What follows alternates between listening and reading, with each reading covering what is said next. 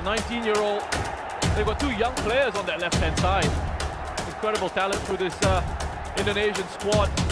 Close, isn't he? A lot of fans in Karafani say hands. He's been very good.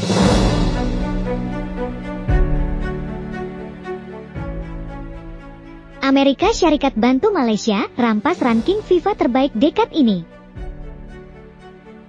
Amerika Syarikat bantu Malaysia rampas ranking FIFA terbaik dekad ini selepas kali terakhir melakukannya 17 tahun lalu pada tahun 2006 di mana Malaysia pada ketika itu pernah berada di kedudukan ke-124 dunia.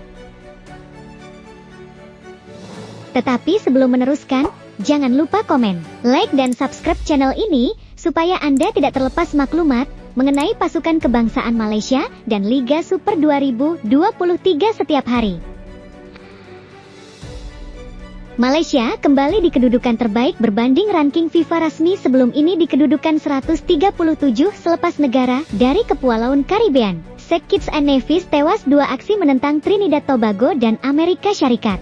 Dalam dua aksi Piala Emas Koncacaf itu, St. Kitts and Nevis tewas 3, 0 kepada Trinidad Tobago dan di belasah teruk Amerika Syarikat 0, 6 sekaligus mereka kehilangan minus 3, 40 mata dan turun ke tangga 139 dunia berbanding 136 sebelum ini.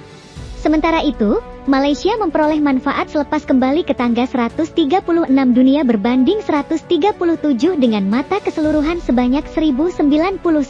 57 kekal seperti yang dikeluarkan secara resmi secara berkala oleh Badan Induk Bola Sepak Dunia, FIFA beberapa hari lalu.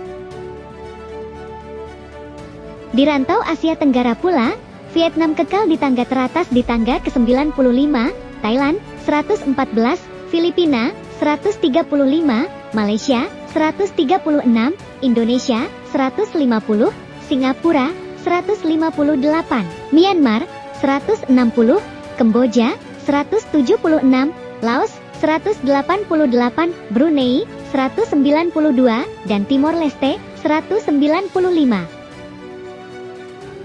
Malaysia di bawah kendalian Kim Pan Gon meletakkan memperbaiki ranking FIFA sebagai keutamaan dan dijadwalkan bakal bertemu Cina pada September ini dan sedang mencari satu lagi lawan bagi melengkapkan kuota dua perlawanan maksimum dalam jendela tertingkap FIFA seterusnya.